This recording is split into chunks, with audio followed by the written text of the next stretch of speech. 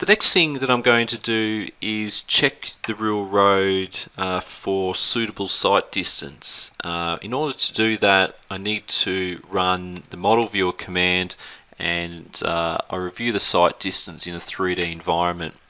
So before opening up model viewer I'm just going to select on auto model and that'll generate a design mesh for me. After I've done that I can select on model viewer total model is the surface created from auto model and um, I'm going to also show the base surface, uh, natural surface.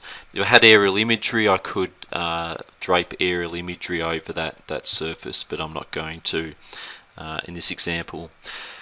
So by selecting OK, uh, model viewer will load up and we can see the, uh, the road in 3D all rendered up.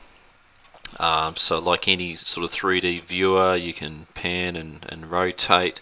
I find this cube uh, very useful to uh, uh, zoom to a particular view. So let's uh, run the sight distance analysis. I might just go to a top view here.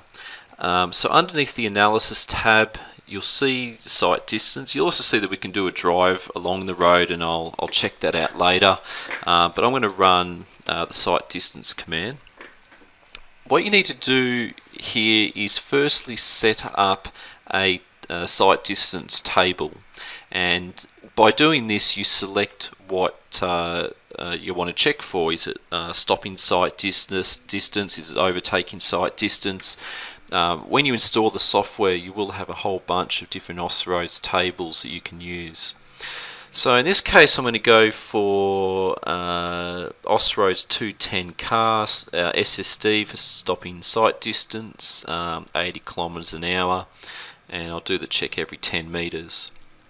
If the design speed changed I could select um, a chainage range, uh, pick a different style and select override and that would allow me to uh, override that portion of the road.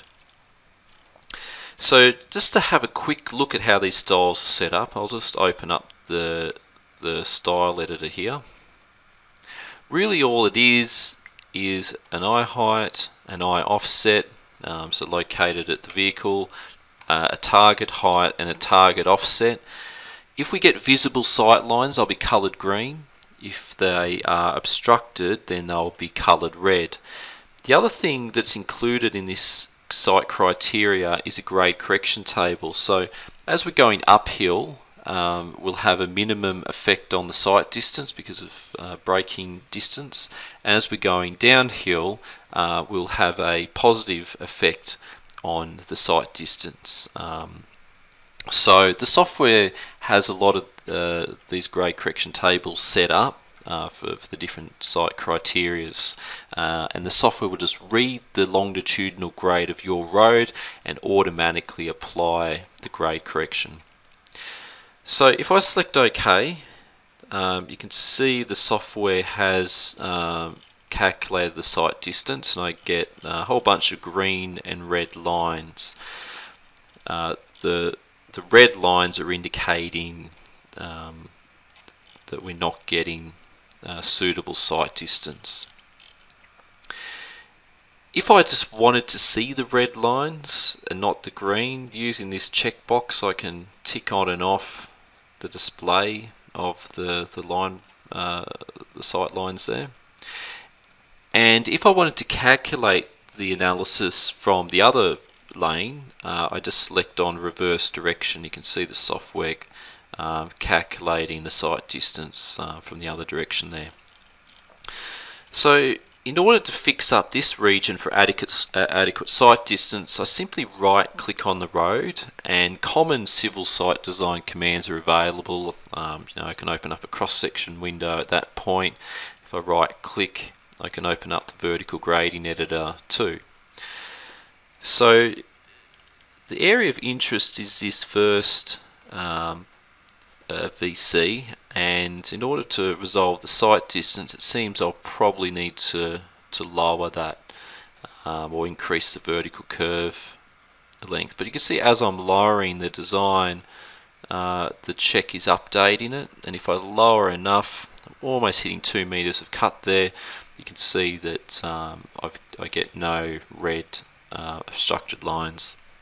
The other area I'll need to resolve is this is this uh, corner. Perhaps I increase the radius of the horizontal curve or maybe I need to start playing around with the um, the elevations around uh, that region. But it's really as simple as that to check uh, the sight distance uh, using civil site design. Uh, by selecting the report button uh, this will output a report uh, basically reporting the check done at each section. If it's highlighted blue, like this area here is, um, then that's telling me that that area is obstructed. Uh, it tells me useful information like the obstructed sight distance, um, so what sight distance we could we could get at that uh, that area. Uh, once again, if I tick off show visible, then I only see the obstructed regions. Um, and uh, this table will update as as I play around with the design and the results can be outputted to a, an AutoCAD table or exported out to a, um, a CSV file. So it's just one way of reviewing the, uh, the details there. So uh, yeah, that's one uh, method for uh, checking for suitable sight distance.